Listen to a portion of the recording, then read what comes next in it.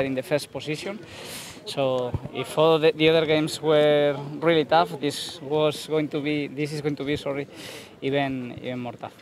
Uh, consistency of the game was not so good, and uh, we see that you play you played and you lose by two one. Maybe what was the problem? I think we started the game good. The first 25 minutes, we controlled the game. We created two chances to score one goal, and with one goal, we knew that the eliminatory was done. And after that, it's true that uh, we didn't control, especially the last 15 minutes of the first half, uh, conceding in minute 44. Then we didn't start good the second half, but after that, we uh, reorganized ourselves with the players who entered into the field. We scored that goal, so uh, from there till the end, I think the eliminatory was over and we controlled it good.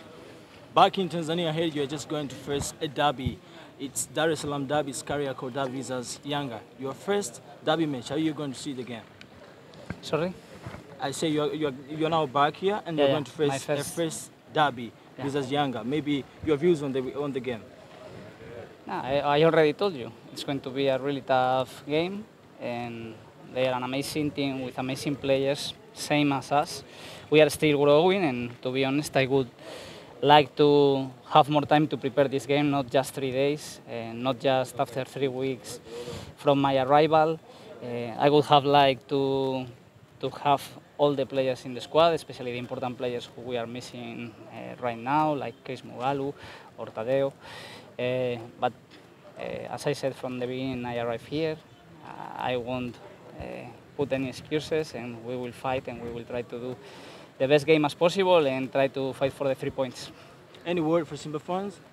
Uh, especially, I already said after uh, the match, uh, the support in Zambia was amazing.